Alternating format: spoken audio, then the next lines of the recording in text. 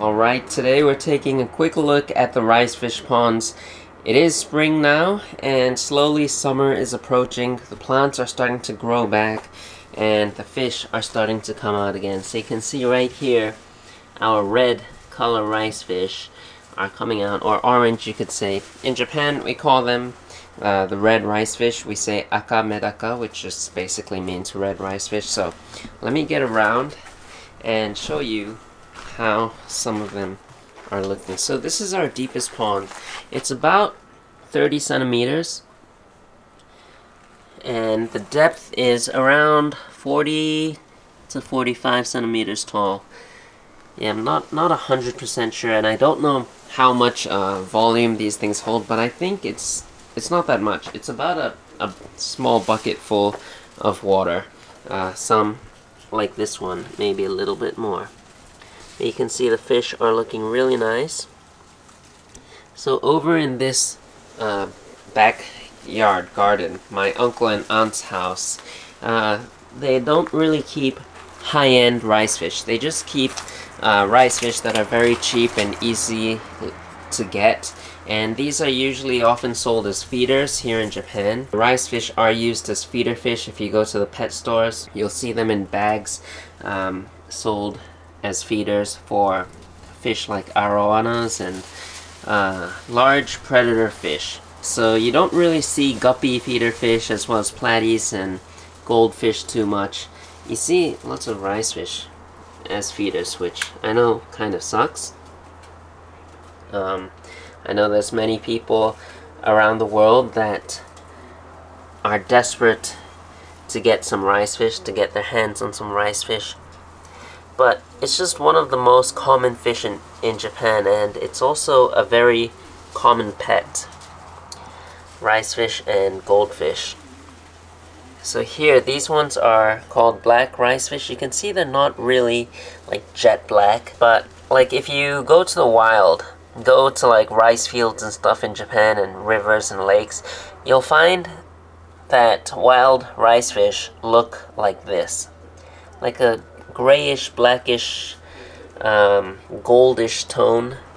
So, yeah, these are one of my favorite types because it's the most natural looking type of rice fish. And then in here we've got a mix. There's some white ones. You can see a nice, beautiful white one right over here. Look at that. That looks awesome. And then some black ones as well and you can see how big they are. My uncle loves to feed his rice fish, so every day, uh, about two or three times a day, he'll feed his rice fish. And then over here we've got some smaller guys. Now the plants you can see floating in here, these are water hyacinth, and during the winter they usually die back, but because my aunt and uncle, with these ponds, they put a lid, an acrylic lid, let me see if we have it uh, somewhere around here. We should have... I think they kept it under the deck or something. It's somewhere. I know there's got to be acrylic lids here because they use it... Oh, right there. Alright, so you see those acrylic sheets? They're quite thick acrylic sheets so that they don't bow in. See, they just place them on top of these ponds uh, during the winter months, the coldest months, uh, where we get snow and, yeah, so we leave that on, and because this area gets lots of sunlight, the plants will survive. Some of them will die because it's, it's just too cold, but the stronger water hyacinth will live and they will grow on the next year. And of course during the winter months, the plants don't grow and like make more plants, so yeah, once spring comes, the plants um, become happy, they're warmer, and that's when they start growing like mad. And you can see they're already starting to grow like crazy. During the winter months, we didn't have this many, so yeah. And in the summer, once these plants really get going, we have to start throwing them out because it just overpopulates. And look at all these rice fish. They're looking so good. Man, these ones are my favorites. They just got like this bronze tone to them really like that. And I think there's some white ones here too, so... Yeah, I, I think I, I gotta pull out some of those black ones and breed them myself. I've also got some rice fish in my side of the garden, uh, which I'll show you next time. But they're looking really nice. And then these here, there's a ceramic pot you can see here, right in the middle. And that actually has water lily in it. You can see one baby starting to come out right now.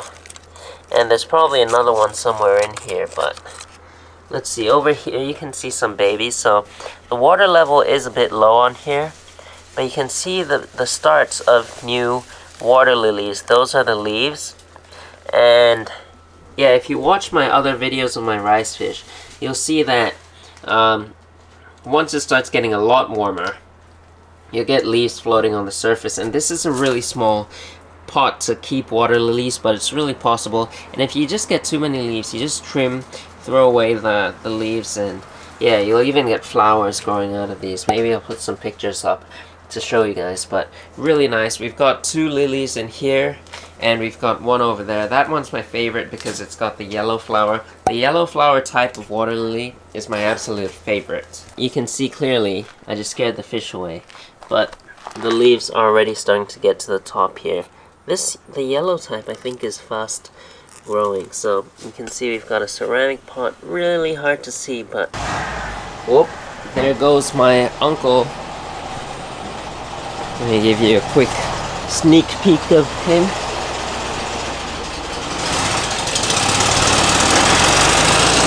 And off he goes. I'm not sure where he's going, but he's just left the house and Probably going to buy some bread. But about the lilies, they're so cool.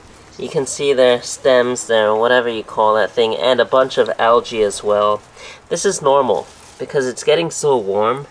It's a big change from the cold days that we had. So once it starts getting warmer, the plants just start growing, and algae starts growing as well.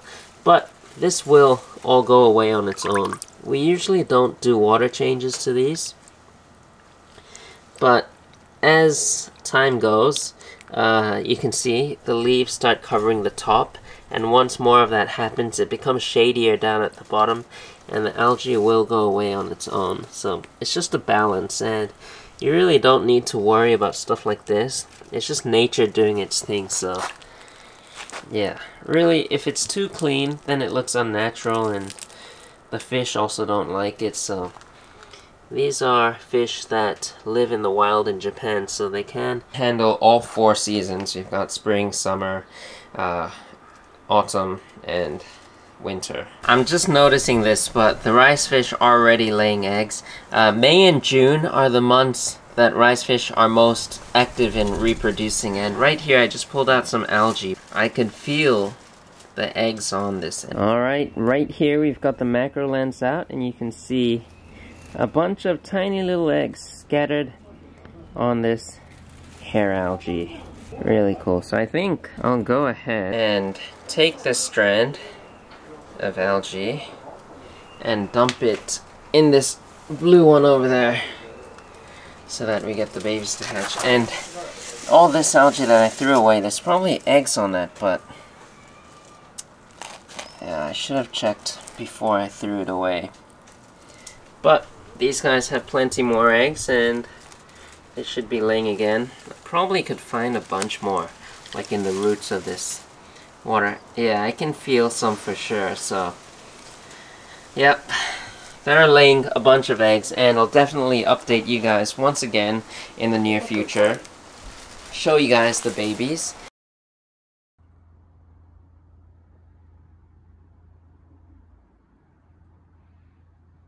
And yeah, does my uncle want to say hello? You want to say hello?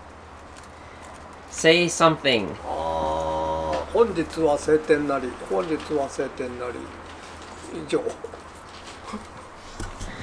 That's it. Alright, the uncle told us to look at this.